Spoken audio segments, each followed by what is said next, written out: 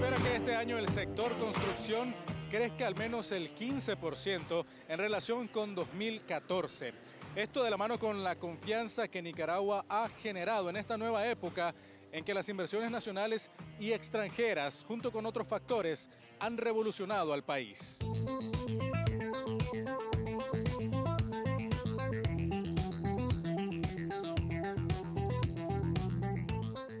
En este resumen sobre la actividad de estos sectores, iniciamos destacando la reciente inauguración de Multicentro Las Brisas, una inversión de 17 millones de dólares, capital nicaragüense. El crecimiento económico es, es sostenible, los números de la macroeconomía son impresionantes, la seguridad ciudadana es envidiable, no hay ningún motivo para no creer que Nicaragua va a salir adelante.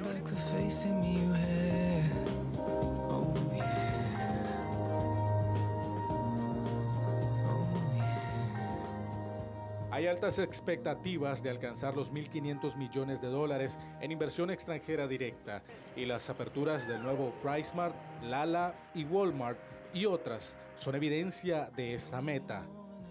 Somos promotores de Nicaragua por la confianza que nos brinda, por la confianza que nos brinda el pueblo nicaragüense, por la confianza que nos brinda su gobierno en la certidumbre de cada una de nuestras inversiones. Estamos muy contentos de venir a apostar a este país, estamos muy contentos de seguir invirtiendo en el país. Que vienen a invertir para crear nuevas fuentes de trabajo, nuevos empleos, empleos también bien remunerados.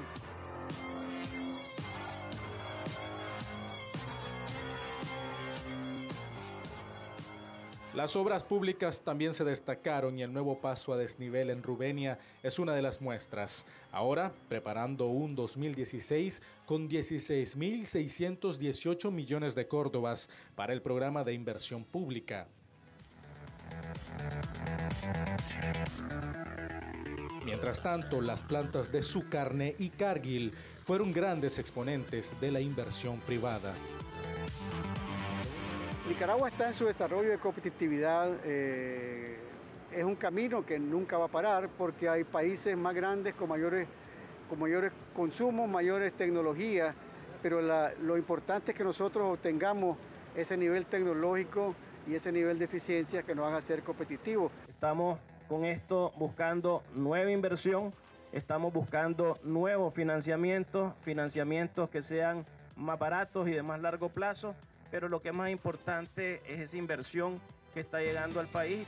Con este excelente escenario, Nicaragua crecerá entre 4.3 y 4.8% en 2015, con proyecciones similares para 2016. Y con la evaluación B, otorgada por la firma Fitch Ratings a inicio de diciembre, y otras evaluaciones, Nicaragua seguirá atrayendo más inversiones.